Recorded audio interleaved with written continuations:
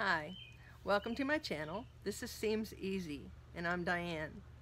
Today I'm going to show you how to make one of these seat belt cushion covers that protects your neck from the seat belt just kind of scraping or cutting into you.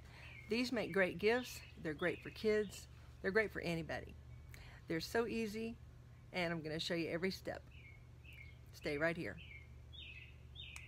You're going to need two squares of flannel. I recommend pre-washing it. Nine inches by nine inches. And you can just use any remnants of uh, polar fleece that you've got. It doesn't really matter as long as it doesn't show through your flannel. And these are just some, some pieces I have left over from other projects. These fleece squares need to be seven and a half inches square. And then you're going to need two pieces or one, one piece of Velcro, seven inches long. And hopefully you can see that I have rounded the corners of the Velcro. Then you're, now I use basting adhesive to adhere, adhere the fleece to the wrong side of my flannel.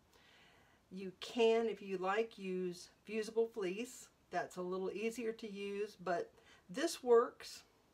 And if you have some of this, great. If you don't, you can just do a basting stitch around here to hold it in place while you're working with it. Okay, I have a piece of parchment paper. You can pretty much use anything to put behind the piece you're going to be spraying. And my fleece has a dark side and a light side. And just because this is a lighter colored flannel, I'm going to fuse the lighter side to the outside. So just, just lightly spray that. And then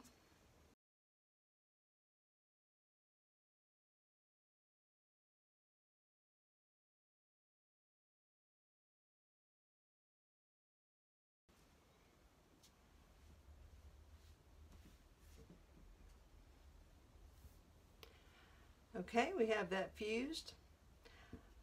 Now we're going to just put right sides together. Just make sure it's smooth. We're going to put right sides together. And we're going to sew a half inch seam all the way around this outer edge, leaving about, you know, four or five inches open on one side. Now I have the half inch seam all the way around and it's open right there. I'm going to trim these corners.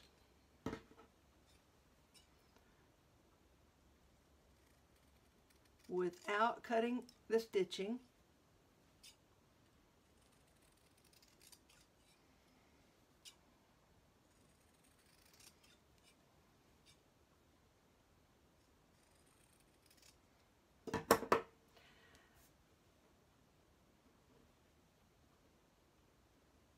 So just going to reach in and put my thumb into each corner with a finger on the outside and push it. Do that for each corner.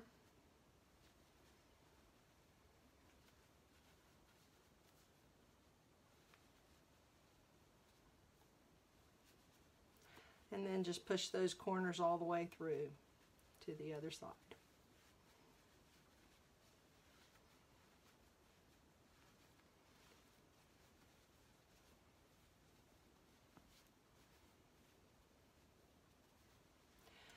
Now I like to just take a pushing tool that's good for corners and just work those out just to the to the very corner edge so that it's a nice crisp corner.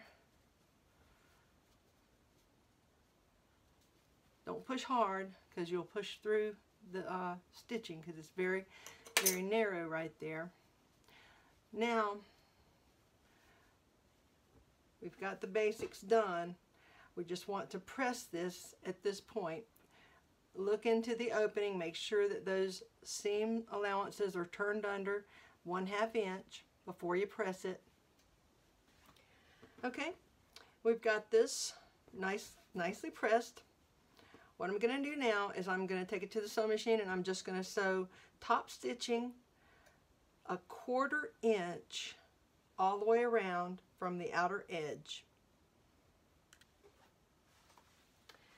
Okay, I've done my top stitching all the way around and that closed up that opening. This is going to be the top, so, or the outer side. We're going to put our fuzzy side of the Velcro, or what they call the loop, an inch and a half from this edge kind of right at those top stitching lines. So just going to lightly pin this.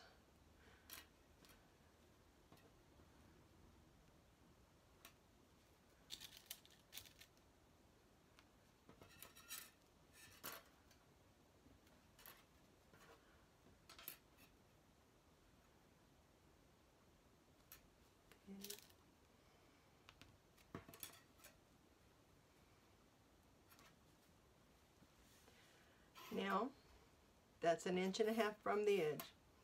Now we're going to flip it over and we're going to put the hook or scratchy side just over that stitching line.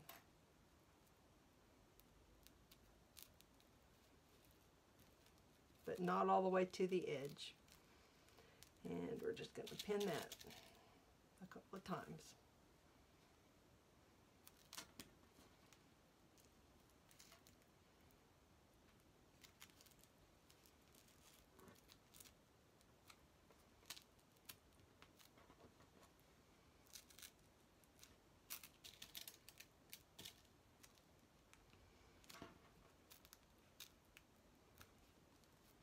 Now we're going to take it to the sewing machine and on each one of these Velcro strips, we're going to make, we're going to go around the whole strip two times with a three millimeter stitch. And we're going to try to round on those corners.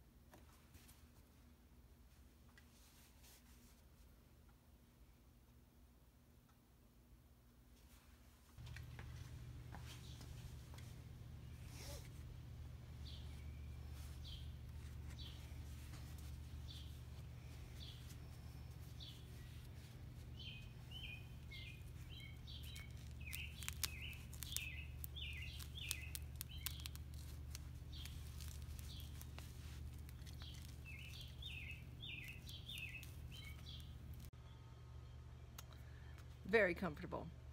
And this is loose enough where it will slide and you want it to. But once it's snug against your body with the seatbelt attached or hooked in, it's not going to be sliding. But it's adjustable. And you'll find that you don't really want to be in the car without it.